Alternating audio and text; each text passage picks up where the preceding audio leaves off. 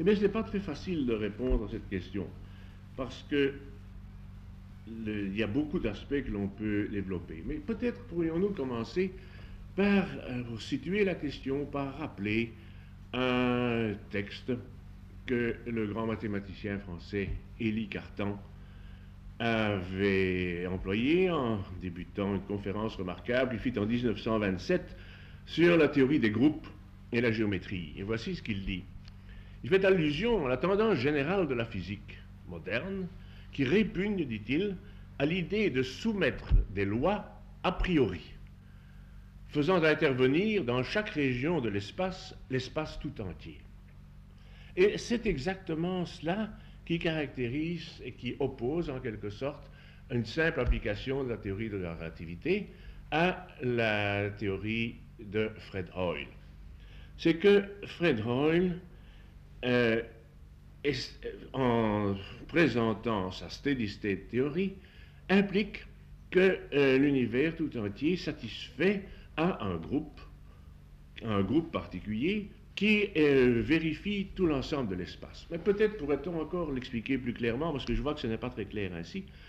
On pourrait peut-être l'expliquer plus clairement en se disant ceci. Avant, il y a très longtemps, avant la théorie de l'expansion de l'univers, il y a une quarantaine d'années, eh bien, on s'attendait à ce que l'univers soit statique, à ce que rien ne change. Eh bien, c'était au fond une idée a priori euh, qui impliquait tout l'ensemble de l'univers. Qui correspondait à l'expérience. Non, pas du tout. Pas, du, tout. C'était une idée a priori pour laquelle il n'y avait aucune expérience. Et euh, les faits relatifs à l'expansion de l'univers ont rendu cette théorie euh, inadmissible. Mhm. Alors on s'est rendu compte qu'il fallait admettre un changement. Mais ceux qui, comme euh, tenaient à ce qu'il n'y ait pas de changement, ont voulu minimiser ce changement. Et on dit, eh bien, il faut bien admettre que ça change, mais que ça change le moins possible. Eh bien, que ça change simplement d'échelle. Que tout se reproduise, mais à une échelle un peu plus grande, que tout se reproduise de la même façon. Et c'est cela qui a d'abord été introduit par Milne et ensuite par, euh, sous le nom de, de, principe cosmologique, et plus tard, ici, principe cosmologique parfait, et ensuite l'idée même et l'idée même donc de euh, la steady state théorie. Et c'est bien cela, n'est-ce pas, que nous pouvons trouver dans, dans ce texte. Il dit If you try to say there is some sort of coherent plan in the universe, I think I would agree. C'est l'idée qu'il y a un plan. Ce n'est pas l'idée que l'univers a des lois et que ces lois bâtissent plus ou moins quelque chose de, plus ou moins cohérent. C'est l'idée qu'il y a un plan. Évidemment, c'est un fond une idée du type de Leibniz que l'univers est fait pour le mieux possible, d'un type de Leibniz probablement, probablement panthéiste, euh, nous le voyons bien d'après les, idées personnelles que Roy développe, mais en tous les cas, du point de vue scientifique, une idée qui a un plan d'ensemble. Tandis que la théorie, l'idée générale de la physique, comme l'exprimait Cartan, c'est que les lois sont locales, sont différentielles, et que l'ensemble euh, ne peut pas avoir une, ne peut pas avoir une très grande régularité comme l'attend Freud. Ne, ne, doit pas nécessairement avoir cette régularité. Ne doit pas nécessairement l'avoir et qu'on ne doit pas l'attendre. Et d'ailleurs, c'est bien ce que Freud sent, c'est qu'il y a une difficulté à l'admettre. Et vous vous rappelez qu'il nous disait euh, que lorsqu'il a commencé euh, cette théorie, il a, il a cru devoir la, la rejeter. Et l'expression qu'il notait, well, nothing much happened. Nothing much happened. N'est-ce pas, pour un temps. Parce que, dit-il, il devrait y avoir création. Mais qu'est-ce que ça veut dire, ce mot création? Ce mot création, au fond, ça entraîne toute une résonance philosophique ou religieuse qui n'a rien à voir avec la question. Derrière ce mot de création, qu'est-ce qu'il y a? Il y a tout simplement que l'apparition de l'hydrogène comme la suppose Hoyle, est quelque chose de tout à fait fantastique et inattendu. C'est pour ça qu'il a employé le mot création. C'est absolument inattendu. Et si je devais employer une autre image pour exprimer la même chose, je dirais que cet hydrogène apparaît de manière totalement inattendue comme un fantôme. C'est une sorte de fantôme tel qu'ils apparaissent, paraît-il, dans les châteaux d'Écosse. Et introduire une sorte d'hydrogène fantomal ainsi pour éviter la difficulté qui se présentait. La difficulté qui se présentait, c'est que le principe de steady state paraissait en opposition avec la conservation d'énergie, avec au fond ce qu'il y a de plus sûr, de plus solide en physique. Eh bien, pour, euh, pour maintenir tout de même cela, on admet une production d'hydrogène absolument fantomale. Et qu'est-ce que l'on peut attendre d'un hydrogène apparaissant ainsi, sans aucune raison physique, sans aucune connexion normale On pourrait tout au plus attendre qu'il disparaisse comme il est apparu. Donc voilà donc comment cette théorie se présente, au fond, comme une, une théorie imposant un a priori, un a priori analogue à l'a priori que l'on pouvait avoir euh, de chercher une solution statique, de chercher une solution avec le minimum de changement, et contre lequel, pour ma part et avec d'autres, je m'oppose dans ce sens que je ne pense pas que je ne pense pas que ce soit la tendance de la physique moderne d'admettre qu'il y a dans l'univers des lois globales, des lois absolues, des lois qui, dans l'expression de, de Hoyle, impliqueraient un design, impliqueraient un, but, un, plan, n'est-ce pas? Ce, n'est pas comme cela, enfin, que je puis me représenter, la, me représenter les choses. Euh, vous êtes un des créateurs d'une euh, théorie qui euh, est une partie, si vous voulez, dans l'ensemble de ce que Hoyle appelle les Big Bang Theory, donc les théories de la grande explosion.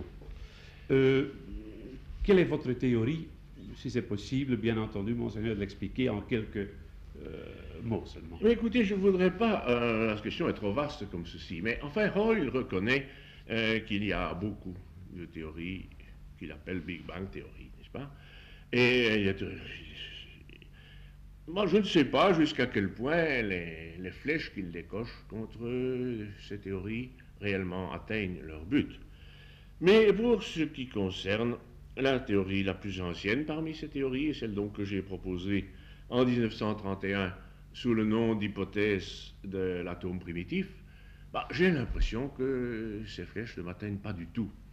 Et je suis même un peu étonné qu'ils ne s'en rendent compte pas tellement, parce qu'enfin, nous avons tellement souvent eu l'occasion de causer euh, sur et moi, et de la manière la plus, la plus amicale, n'est-ce pas, que j'ai l'impression qu'il s'est surtout attaché à ce qu'il s'imaginait de ces théories plutôt que, et surtout euh, l'aspect particulier d'ailleurs, que j'ai toujours développé. Et je pense donc que cette théorie échappe. Je ne vais donc pas essayer, je ne vais pas développer l'ensemble de la théorie, mais je voudrais dire essentiellement en quoi elle échappe. Et il, euh, dit essentiellement que, euh, d'après ces théories, là, j'aimerais retrouver son texte exact, and quite early, voilà, and quite early on the game, all the galaxies are supposed to have formed, and then should therefore be Mais ce n'est pas du tout ainsi que j'ai jamais considéré la théorie de l'atome primitif. Il y a un commencement, nous y reviendrons peut-être à d'autres aspects, un commencement très différent de l'état actuel du monde, un commencement de multiplicité qui peut être décrit pour autant qu'on peut le faire sous forme de la désintégration de toute la matière existant sous forme d'un atome. Quel va être le premier résultat de cette désintégration, pour autant qu'on peut suivre la théorie? Eh bien, c'est d'avoir un univers, un espace en expansion rempli par un plasma, par des rayons très énergiques allant dans tous les sens. Quelque chose qui ne ressemble pas du tout à un gaz homogène.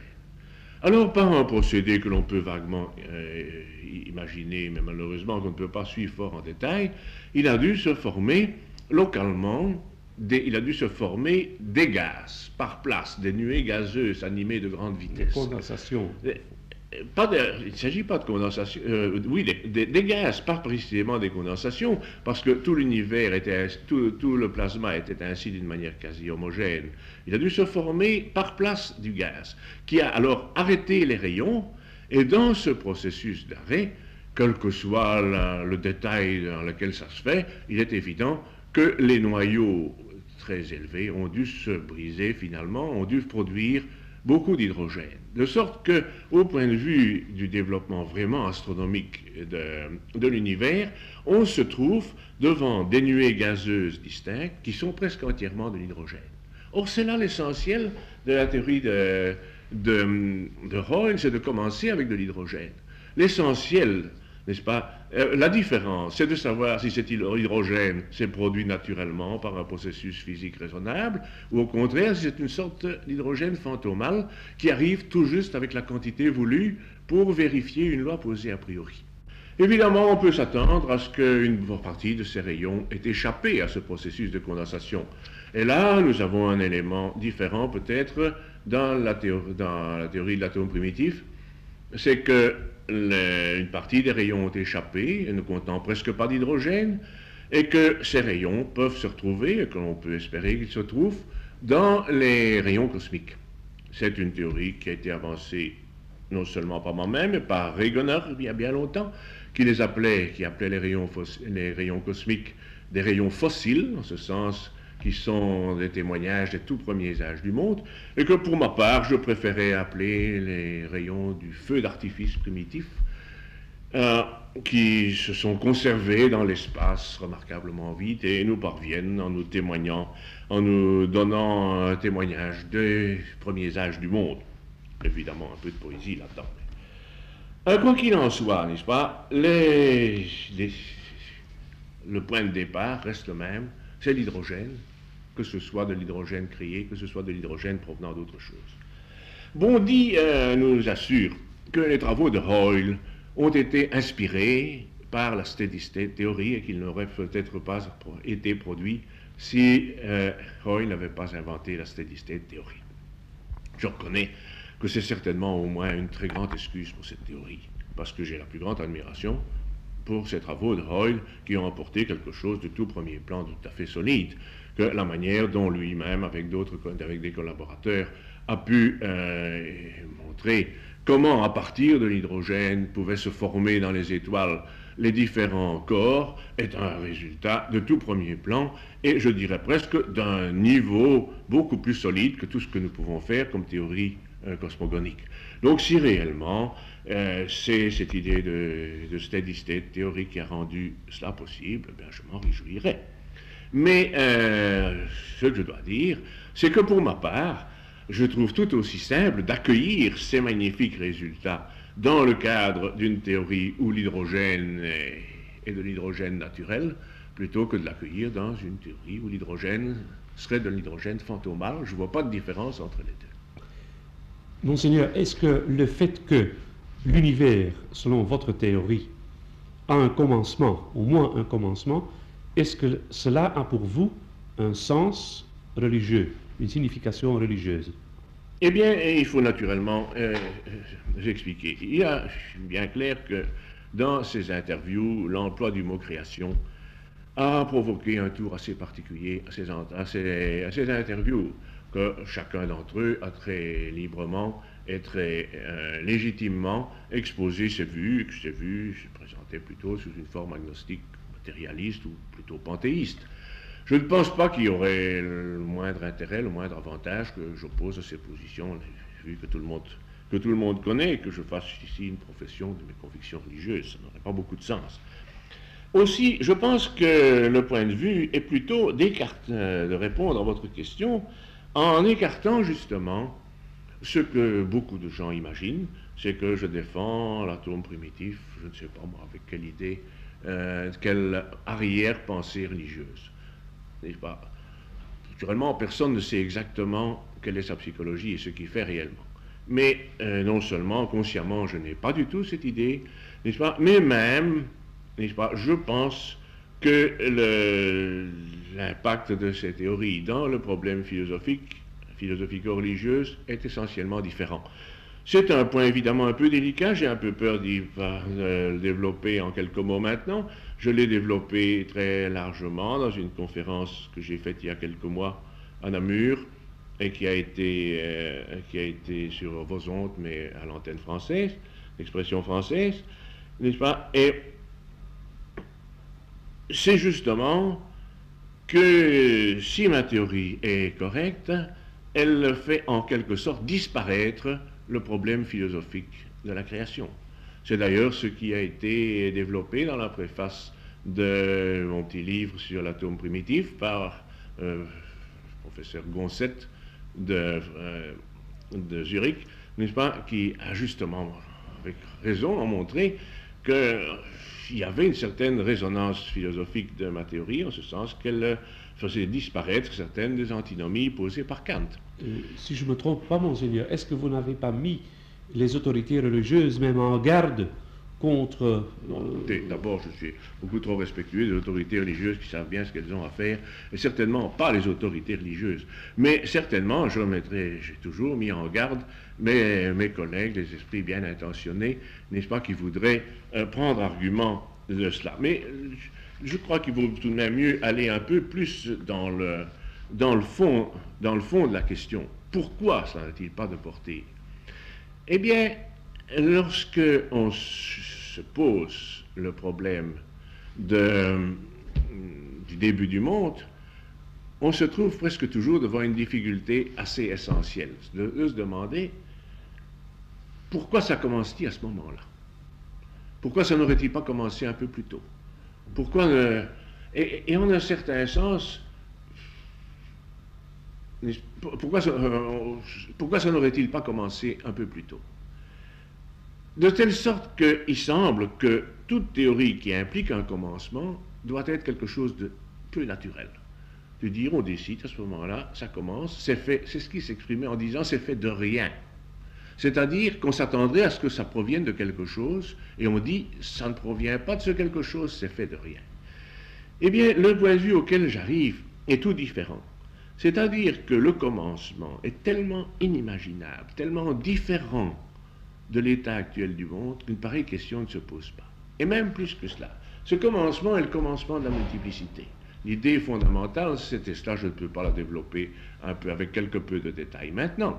Mais enfin, l'idée, c'est le commencement de la multiplicité. C'est que l'univers qui existe en, en quanta, en, en paquet d'énergie déterminé, commence avec un seul, un seul quantum, ou un tout petit nombre de quanta. De telle sorte qu'il est impossible de se demander de, de quoi il, quoi il proviendrait, de quoi il serait divisé.